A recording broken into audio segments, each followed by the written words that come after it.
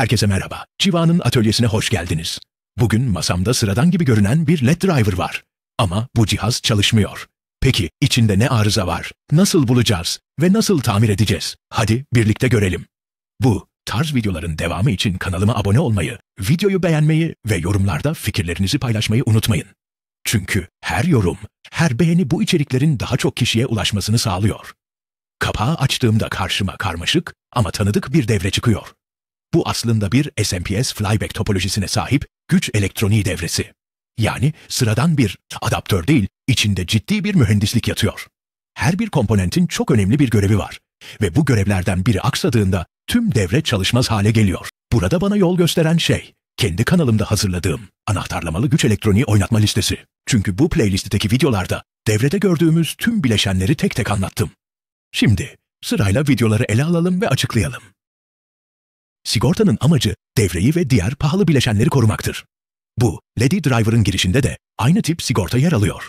Eğer bu sigorta atmış olsaydı, cihaz tamamen enerjisiz kalacaktı. Tamir sürecinde ilk kontrol edilen kısımlardan biri de bu sigortadır. Köprü diyot nedir? Videosunda AC şebeke geriliminin nasıl düzgün bir DC'ye dönüştürüldüğünü uygulamalı gösterdim. 4 adet diyottan oluşan bu yapı, gelen alternatif akımın pozitif ve negatif yarım dalgalarını aynı yönde akıtarak tam dalga doğrultma sağlar. Bobin ve kondansatör incelemesi videosunda özellikle SMPS devrelerinde filtrelemenin ne kadar kritik olduğunu gösterdim. Bobinler yüksek frekanslı parazitleri süzer, kondansatörler ise voltajı yumuşatır. Bu ikili birlikte çalışarak hem devrenin kararlı çalışmasını sağlar hem de şebekeye geri giden elektromanyetik parazitleri bastırır. Flyback topolojisi ve PWM entegreleri videosunda flyback trafosunun enerji depolama ve aktarma prensibini anlattım. Flyback topolojisi enerji transferini manyetik alan üzerinde yapar. MOSFET kapandığında trafo üzerinde biriken enerji sekonder sargıya aktarılır. Bu esnada PWM entegresi anahtarlama frekansını ve duty cycle değerini kontrol ederek çıkış voltajını regüle eder. Burada kullanılan PWM kontrol entegresi optokuplörden aldığı geri besleme sinyaliyle çıkışı sabit tutmaya çalışır. RCD snubber devreleri videosunda MOSFET üzerindeki ani voltaj darbelerini bastıran kritik bir yapıyı açıkladım. Flyback devresinde MOSFET kapandığında trafo üzerinde çok yüksek ani gerilimler oluşur. Eğer bu gerilimler kontrol edilmezse MOSFET yanabilir. İşte RCD snubber devresi yani direnç kondansatör diyot üçlüsü bu darbeleri sönümler. Bu LED driver üzerinde de bu devreyi görebiliyoruz. Eğer snubber devresindeki kondansatör zayıflarsa MOSFET'in ısındığını ve daha çabuk arızalandığını görebilirsiniz. Bu yüzden SMPS tamirlerinde snubber kısmını kontrol etmek çok önemlidir. SMPS, adaptör çıkış voltajı sorunu videosunda gerçek bir adaptörde yaşadığım düşük voltaj problemini anlattım.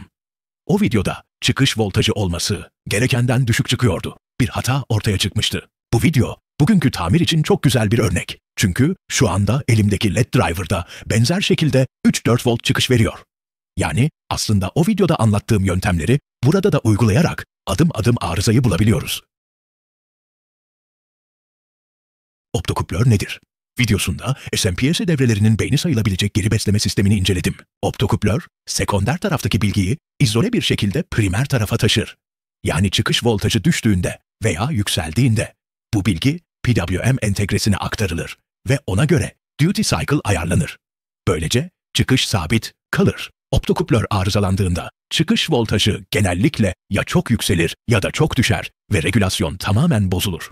Bu LED driver üzerinde de çıkışı dengeleyen en kritik bileşenlerden biri optokuplördür. Eğitim videolarımız üzerinden bu devre hakkında fikir sahibi olduk. Artık bu devre kartı bize yabancı değil, bir LED driver veya adaptör gördüğümüz zaman kutunun içini göremesek de nasıl çalıştığını biliyoruz. Bu arızalı adaptörü tamir etmeye ne dersiniz? Şimdi ölçümlere başlıyorum. Öncelikle anahtarlama entegresini kontrol etmek istiyorum. Çünkü bu entegre tüm SMPS devresinin kalbi sayılır. Eğer bu entegrede sorun varsa zaten diğer bileşenleri kontrol etmenin anlamı kalmaz. Osiloskop probunu gate ucuna bağlıyorum. Dalgaya baktığımda düzgün bir kare dalga görüyorum. Bu da demek oluyor ki entegre MOSFET'i doğru şekilde tetikliyor. Yani entegre tarafı sağlam, sorun burada değil. Şimdi gözümü çıkış tarafına çeviriyorum. Multimetreyi bağladığımda sadece 3.9 volt görüyorum. Normalde buradan sabit 12 volt çıkması gerekiyor. Bu kadar düşük çıkış voltajı devrede ciddi bir dengesizlik olduğunu gösteriyor. LED'lerin doğru parlaklıkta yanmamasının nedeni de tam olarak bu. Burada aklıma hemen geri besleme devresi geliyor. Çünkü çıkış voltajını belirleyen ve sabitleyen elemanlar burasıdır. Özellikle de referans voltajını ayarlayan potansiyometre kritik rol oynar. Bu yüzden potansiyometreyi ölçmeye karar veriyorum. Ölçüm yaptığımda beklediğim değer 200 ohm iken karşıma tam 7,6 kilo ohm çıkıyor. Yani normal değerinin neredeyse 40 katı. Bu da potansiyometrenin bozulduğunu açıkça gösteriyor. Zamanla iç direncinde kayma olmuş, temas yüzeyleri aşınmış ve artık doğru referans voltajını veremiyor. İşte devredeki asıl sorun bu.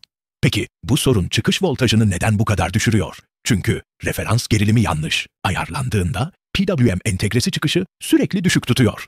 Yani sistem aslında kendini yanlış bir değere sabitlemiş durumda. Pot arızalandığı için optokuplör de PWM'e yanlış bilgi iletiyor. Ve sonuçta çıkış olması gerekenin çok altında kalıyor. Şimdi çözüm zamanı. Arızalı potansiyometreyi söküyorum. Burada dikkat edilmesi gereken nokta lehimleme sırasında karta zarar vermemek. Çünkü bu tip SMPS devrelerinde baskı devre yolları ince olur ve fazla ısıyla kolayca kalkabilir.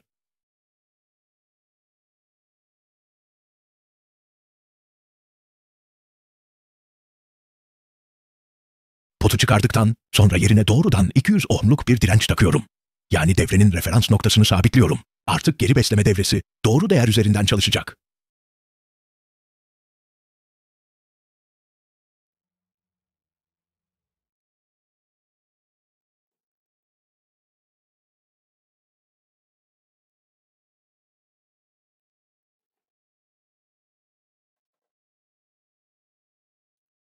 Lehimleme işlemi tamamlandıktan sonra çıkış voltajını tekrar ölçüyorum. Ve işte sonuç, değer artık tam olarak 12 volt. Hem de stabil bir şekilde. Bu, devrenin yeniden çalıştığını gösteriyor. Aslında küçük bir bileşen yüzünden tüm cihaz devre dışı kalmıştı. Sadece potu değiştirerek cihazı tekrar hayata döndürmüş olduk. Bugün sadece bir devreyi tamir etmedik, aynı zamanda SMPS flyback topolojisinin nasıl çalıştığını da bir kez daha deneyimlemiş olduk. Ölçüm yaparken gördüğümüz her detay bize bu sistemin ne kadar hassas olduğunu hatırlatıyor. Sigortadan köprü diyota, Snaber devresinden optokuplere kadar her bileşenin ayrı bir görevi var ve her biri kritik. Eğer bu süreç size faydalı olduysa videoyu beğenmeyi unutmayın.